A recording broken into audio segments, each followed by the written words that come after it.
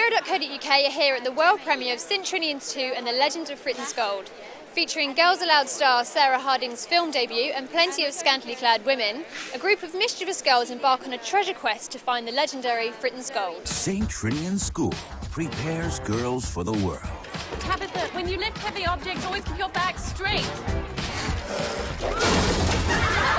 But who prepares the world for St. Trinians? The girls are back. Had, we had a real giggle with the girls. It was actually like really being back in school because the, the first AD Mel and the directors they had to tell us to shh quite a lot because we tended to you know hang around a lot waiting for filming and gossiping and they're like quiet girls and we're like oh, oh, oh I feel really like I'm at school. It's quite weird, but it was good fun.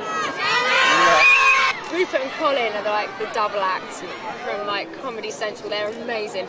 Um, Rupert, he's got such a dry wit, and he's constantly fiddling with his lady bits. You know, like adjusting like women do. There's Nora Batty.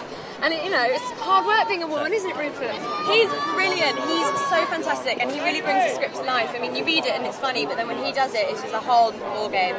And I had to stop myself from laughing off, off, off on the screen when they, they were rolling because I just he's just brilliant. Was it like working with so many girls on set? Do they all get on, or is it a bit raucous off set as well? cat fight. Seven, 24 7 cat fight. No, I had to hide in a kind of Popemobile from uh, the things flying around.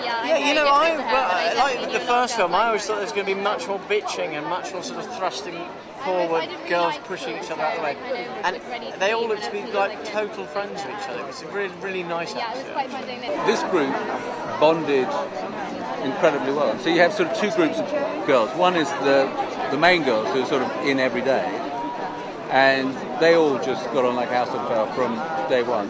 And then the other is you have all the extras who come in. And what's extraordinary about them is they'll come in as nice, polite girls.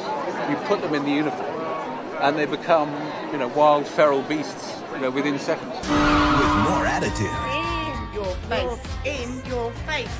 new discoveries. We just got something really suspicious in the library. I didn't know we had a library. and an ancient legend. This guy over £20,000 for a ring from the Fritton archives. You have 24 hours. What's he after? Legend of the Fritton Gold.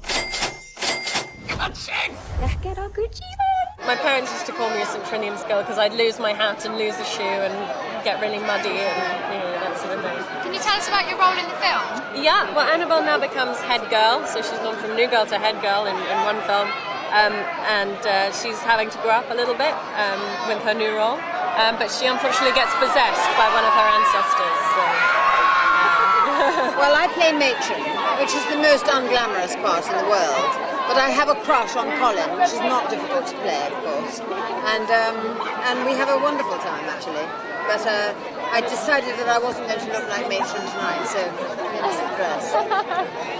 Rupert Everett, David Tennant, Colin Firth, Talulah Riley, Sarah Harding, and Gemma Arterton. A woman couldn't do a man's job.